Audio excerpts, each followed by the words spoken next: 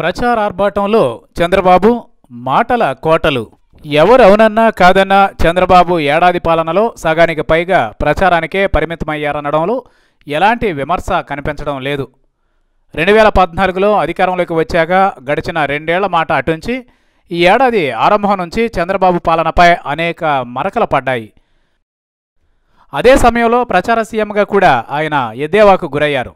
ఇక వివిధ వర్గాల నుంచి కూడా ఆయన తీవ్ర వ్యతిరేకత ఎదుర్కొన్నారు.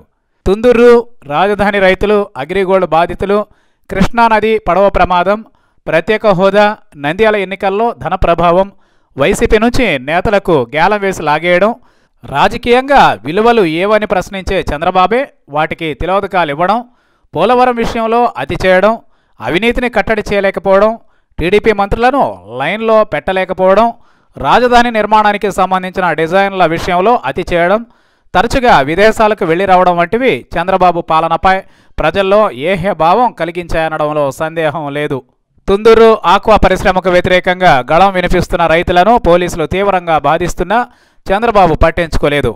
అదేవిధంగా పెందుర్తిలో ఓ దళిత మహిళను టీడీపీకే చెందిన ఎంపీపీ కుటుంబం వివస్త్రాన్ని చేసి హింసించిన ఘటన కూడా రాష్ట్రాన్ని కుదిపివేసినప్పటికీ చంద్రబాబు మాత్రం పట్టించుకోలేదు. ఇక రాజధానికి చెందిన కొందరు రైతులు తమ భూములను చంద్రబాబు ప్రభుత్వం బలవంతంగా లాక్కుంటోందని పేర్కొంటూ తీవ్ర ఆందోళన చేసినా పట్టించుకోలేదు. అగ్రిగోల్డ్ బాధితులు రోడ్డెక్కి వారి కేసు సిఐడికి అప్పగించి కోర్టుకు కేసుకు వెళ్ళినా బాధితుల్లో చంద్రబాబు భరోసా కల్పించలేకపోయారు.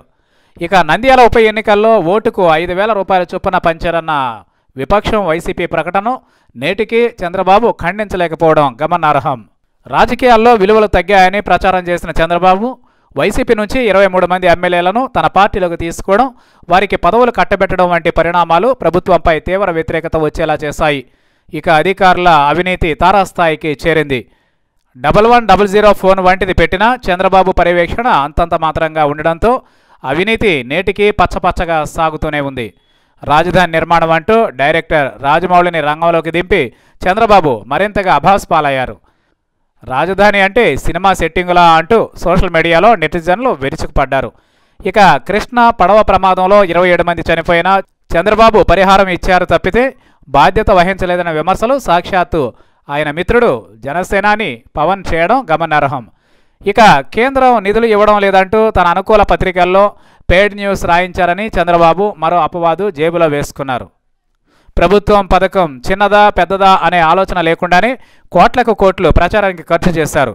రాజధాని నిర్మాణ డిజైన్ల కోసం అంటూ విదేశాలకు విచ్చలవిడిగా వెళ్ళి వస్తున్నారని ఆయన వెంట కనీసం ముప్పైకి తగ్గకుండా మంత్రులు అధికారులు ఉంటున్నారని ఫలితంగా కోట్ల రూపాయల ప్రజాధనం వృధా అవుతోందని అంటున్న విమర్శకుల వ్యాఖ్యల్లో నిజం లేకపోలేదు. ఇక రాష్ట్రంలోని విశాఖలో విద్యార్థులు చేపట్టిన ప్రత్యేక హోదా కొవ్వొత్తుల ర్యాలీకి అవకాశం ఇవ్వకుండా పోలీసులతో అడ్డుకట్ట వేయించారు. కాపు ఉద్యమ నేత ముద్రగడ పద్మనాభం ఆందోళనపైన పోలీసులను మోహరించి తీవ్ర విమర్శల పాలయ్యారు. కాపు రిజర్వేషన్ కోసం ఏర్పాటు చేసిన మంజునాథ కమిషన్లో చైర్మన్ హోదాలో ఉన్న మంజునాథ నివేదికను పరిగణలోనికి తీసుకోకుండా కేవలం ఇద్దరు సభ్యులు ఇచ్చిన నివేదిక ఆధారంగా కాపులకు రిజర్వేషన్ను కల్పించారు. ఇది సుప్రీంకోర్టు తీర్పుకు వ్యతిరేకమని కూడా పెద్ద ఎత్తున విమర్శలు వచ్చాయి. ఇదే విషయాన్ని గుజరాత్ ఎన్నికల సందర్భంగా ప్రధాని మోదీ కూడా విమర్శించారు. అక్కడి పాటేదారులకు రిజర్వేషన్ ఎలా కుదురుతుందని ప్రశ్నించారు. సో చంద్రబాబు కాపులకు ఇచ్చిన రిజర్వేషన్ కేవలం రాజకీయంగా వారి కళ్ళకు గంతలు కట్టడమేనని ఇప్పటికీ విమర్శలు ఉన్నాయి. రాజకీయ లబ్ధి కోసం డీజీపీగా సాంబశివరావు నియమించేందుకు చంద్రబాబు చేసిన ప్రయత్నం అందరినీ నివ్వెరపరిచింది. ఇక తనకు మిత్రుడు అనుకునే పవన్ పోలవరంపై శ్వేతపత్రం విడుదల చేయాలని డిమాండ్ చేస్తే చంద్రబాబు తోసిపుచ్చారు. అవసరం లేదన్నారు. సో ఇలా చంద్రబాబు పాలనలో మరకలు అందరినీ విస్మయానికి ఆవేదనకు కూడా గురి చేశాయి.